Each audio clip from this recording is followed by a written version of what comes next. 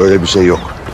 Ucuz oyunlar bu. Ya ama at izinin it izine karışıp gittiği böyle bir ortamda sanatın en temel motivasyon olarak mutlak yalnızlığı ileri sürebilen birinin varlığı. Ne bileyim gene de umut verici gelmiyor mu size de ya? Kimseyle sanatsal birlikteliğe, ortak çalışmalara, takım çalışmasına falan gitmeyeceğini söylüyor mesela. Tam tersine o mektup bana fazla önemsediği bir topluluk karşısında utandığı için konuşmaktan korkan, bu zayıflığını kabul etmek zorunda kalmamak için de bu eksikliğine felsefi bir kılıf uydurmaya çalışan tabii bir gencin çırpınışları gibi göründü daha çok.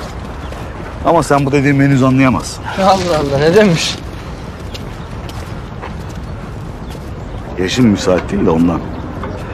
Yaşın ilerledikçe senin bile bu mektup gibi dünyayı kendi anlamına zorlamaya çalışan bu tarz romantik atılganlıkları yüreğin gençliğinden gelen toy aşırılıklar olarak görmeye başlayacağını biliyorum da ondan. Koy aşırı baba. O mektuba kötü demiyorum tabii yanlış anlama. Taşranın derinliğinden merkeze ulaşmayı başarmış ateşli bir çığlık olduğunu da kabul ediyorum. Ama gene de onu midemi bulandıracak kadar duygusal ve haddinden fazla romantik bulduğumu söylemeden geçmem mümkün değil kusura bakma. Yanıma gelmenden kısa süre sonra senin de iflah olmaz bir romantik epey de saplantılı bir genç olduğunu anlamadım sanma. Ya saplantı. Ama yine de ruhun ama yine de gördüğün gibi Saplantılı ama yine de gördüğün gibi kalkıp gitmedim. Seni başından salmadım. İçindekileri ortaya dökmeni bekledim.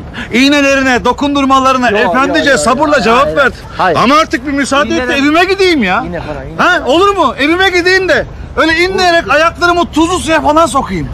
Niye biliyor musun? Falan yok. Niye biliyor neyi musun? Çünkü son Ya yarım saattir varlığını üzerime dayatan tek bir gerçek var. O da ne biliyor musun?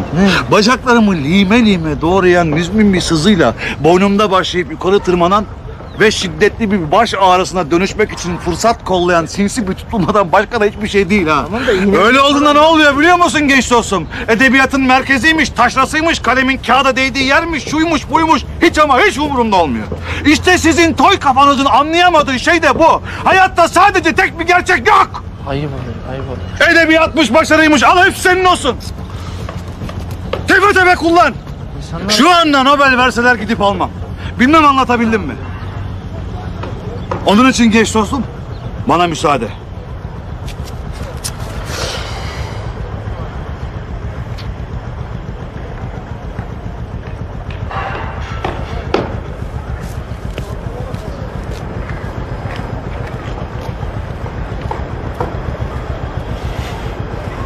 Nobel verseler almaz mı? Siktir amına